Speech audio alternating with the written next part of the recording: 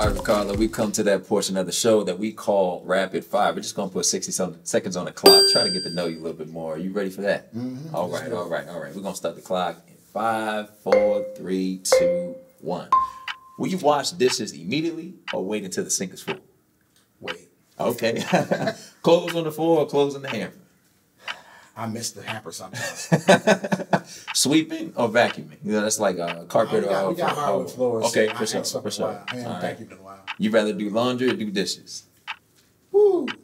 Am I keeping it real? Neither, but I, I'll go with dishes. Okay, okay, all right, all right. Bath or shower or jacuzzi? Shower. Shower for sure. All right, we got uh, what is this? Hand soap or hand sanitizer? I think we all Oh, both soap. right now. Yeah, a little bit of both, but definitely hand soap.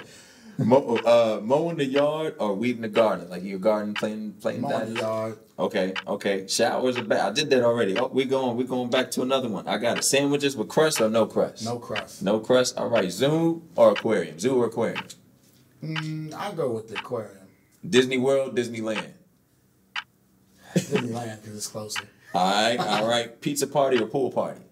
Can we do both? Oh, we can do it at the same time. Yeah, no. Pizza at the pool party. Lake or ocean?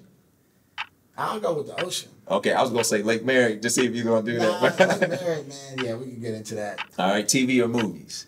TV all day. Okay. Winter or summer? Actually, winter. Mm, okay. I, I, I like I like being That's by the fireplace. That's what chilling. Germany did to you. All right, all right, all right. We got we got this last one, last one. Pizza or tacos?